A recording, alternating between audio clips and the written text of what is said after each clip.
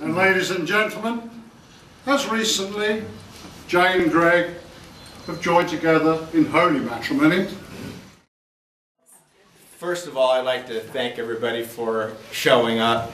And happy that everybody uh, made the the trek over here, and um, and Jane and I have uh, have uh, been looking forward to this.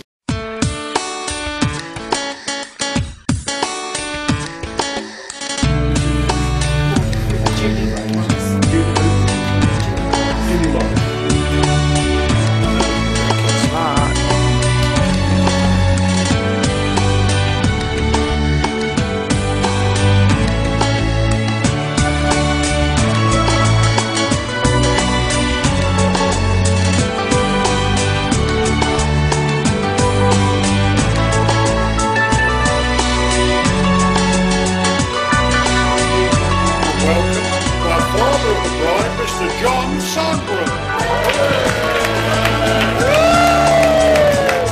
It's been a pleasure that David and Jane have put a lot of work into this occasion and it's most satisfying that everybody she invited, that everybody has come.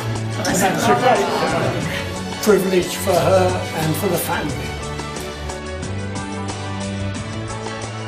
Right, ladies and gentlemen, pray silence for and give a very, very warm welcome for our bridegroom, Mr. Greg Thompson.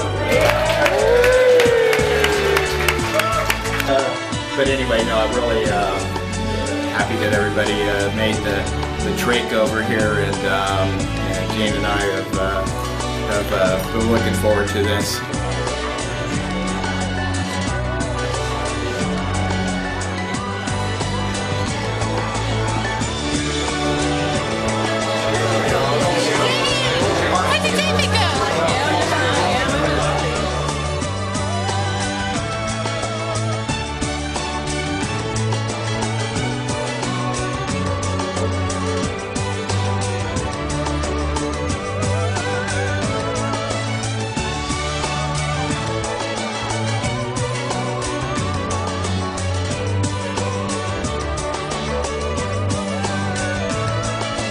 Pray silence for and give a very, very warm welcome to the brother of the bride, David Sundgren. made in heaven. Perhaps neither of them knew where they were going.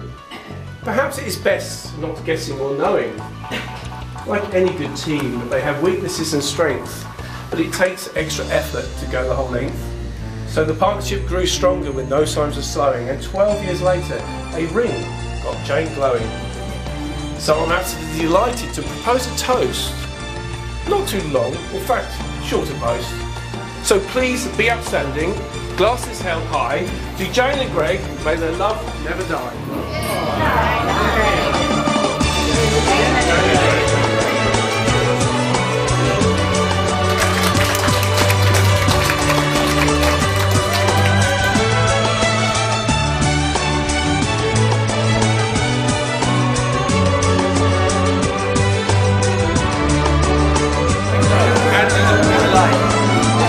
The best for the future. Please.